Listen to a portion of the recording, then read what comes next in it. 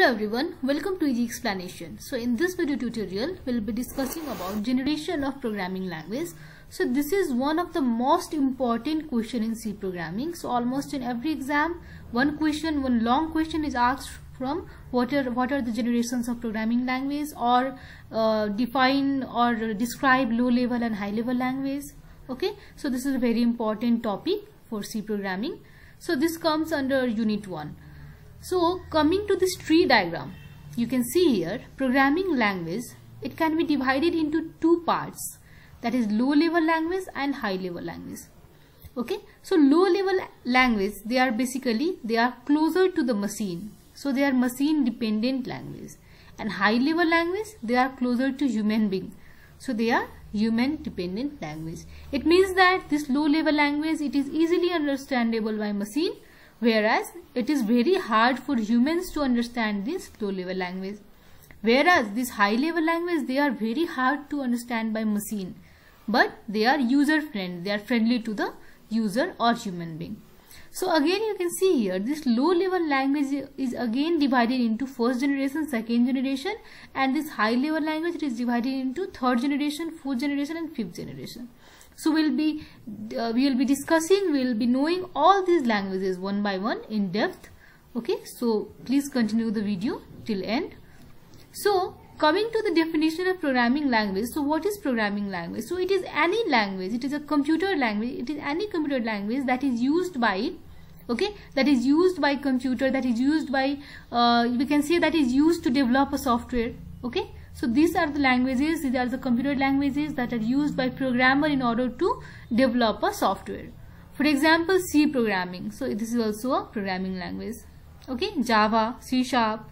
So all these are programming languages. So the main aim of every programming language is to develop a software program fine so going to definition part programming language is a computer language programmers use to develop software program okay? So a script or other sets of instruction for computer to execute okay? So this all the computers they understand this particular programming language. So again we need to convert this programming language. If it is in high level we have to convert it in low level so programming languages have been developed over years in a phased manner. Okay, so it has been developed over years. So we uh, remember using Fortran, Pascal, COBOL, and now we are using Python, PHP. So each phase of development has made a programming language more user friendly. Okay, so the main aim of developing, or we can say uh, developing, or um, you know, uh, uh coming with new versions. So the main aim was to make it more user friendly that is it should be more closer to human so that they can understand it easily. So each phase of improvement made in the development of programming language can be referred to as a generation okay? So these generation are nothing but versions we can say or improvements of language okay? So the the more generations the more it is closer to human being Fine. The programming languages in terms of their performance, reliability and robustness can be grouped into five different generations. So you can see here there are five generations of programming languages. So 1GL, 2GL, 3GL, 4GL and 5GL. So we'll be discussing them one by one. So coming to first generation of programming language. So this is the first generation of programming language. I, I told you it is like if you come from up to down. So it is more user friendly, more human being friendly and if you go from down to up it is more machine friendly. So you can imagine first generation language it is also called machine language because they are closer to machine because these languages can be easily understood by machine. So machine language is a set of instruction and data that computer central processing unit can execute directly okay? So it means that if your code is written in this first generation language or machine language so there is no need to convert okay so there is no need for conversion of language because the machine directly understands this language. So the example of this this machine language are binary code that is in the form of zeros and one. So you know that machine always understands any program any information in the form of zeros and one. So these are called machine language. Okay so coming to second generation language so these are the language they are called 2GL language and they are also called assembly language. Okay so remember these key points First generation, they are called machine language. Second generation, they are called assembly language. So assembly language, they are, it is like middle, in the middle of both machine and human. like it is a it is a like language that is human readable notation okay? It is in the form of human readable notation. Okay? So in this we use you know abbreviations. They are called mnemonics.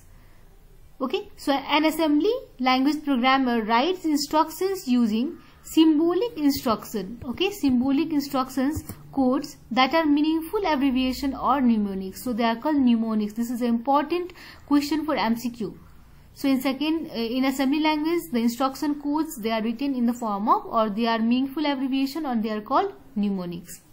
So we need a software. We need a software to convert this second generation language in machine code okay? So the software that is used to convert this assembly language into machine language it is called assembler. Okay? So you can see here the example of assembly languages like move.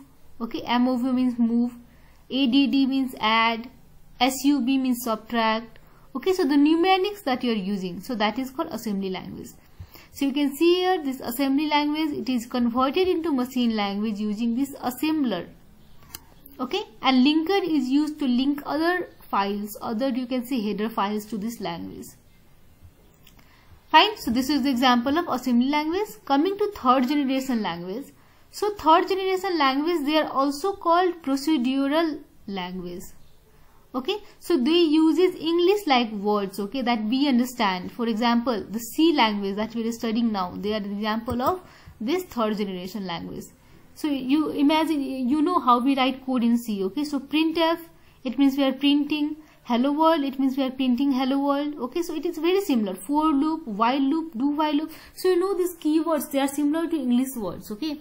So they are very closer to human beings it means that they are human being dependent and they are farther or they are independent of machine Fine. So high level programming languages makes complex program simpler and easier to read, write and maintain. Okay. So it is easier for human to read, write, program in high level language. So programs written in high level language must be translated to machine language. Okay. So any software that is used to convert this high level language into machine level language is called compiler or interpreter. So in next video tutorial, I'll be explaining the difference between compiler and interpreter okay so till then you just understand that it is a software that is used to convert high level language into low level language so various example of this third generation language are Pascal, Fortran, Basic, COBOL, C, C++. Okay, so we are studying now. We are studying C language. Okay, so I'll also we'll also be making video on Fortran, C++. Fine. So they are the example of third generation language. So you can see here this high level language. So they uh, the C, Java, Fortran, they are used to, the compiler is used to convert it into assembly language and then the assembly language is converted into machine language using assembler. Next is fourth generation language. So in fourth generation language, it is also called non-procedural language. Okay, so the best example of this fourth um, generation language is database. Fine. So it is uh, it is uh, often it is abbreviated as 4GL. So it enables user to access data in a database.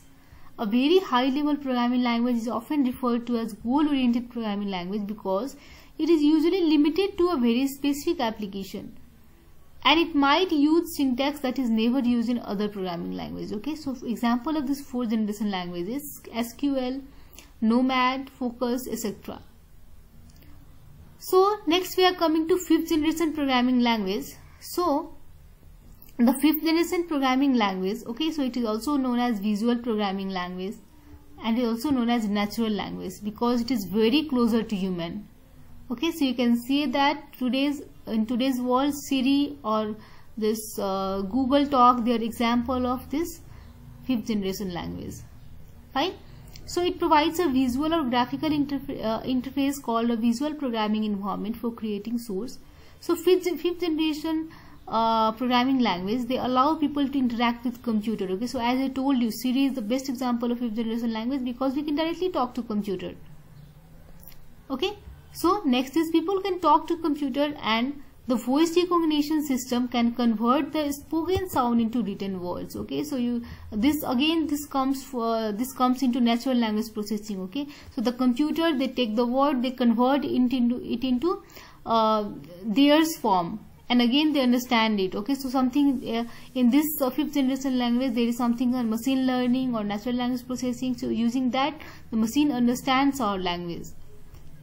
Prolog and mercury are the best known fifth generation language. Okay so they are the examples so you can see in this diagram okay there is a machine robot and there is a person. So it is used it it, it asks something to this uh, machine and they will respond to the user fine. So how they how they get trained? So they are getting trained using those um, using their like uh, you know some words we are feeding into them or they are getting trained. Okay so all this concept it comes in machine learning. So later we are also planning to make uh, make a playlist on machine learning. Okay so in that uh, topic we'll be studying more in more detail how we train our models. Fine? So this was the um, topic for generation of pro, uh, programming languages. So in next uh, topic i'll be coming with uh, difference of low level and high level and uh, compiler and interpreter.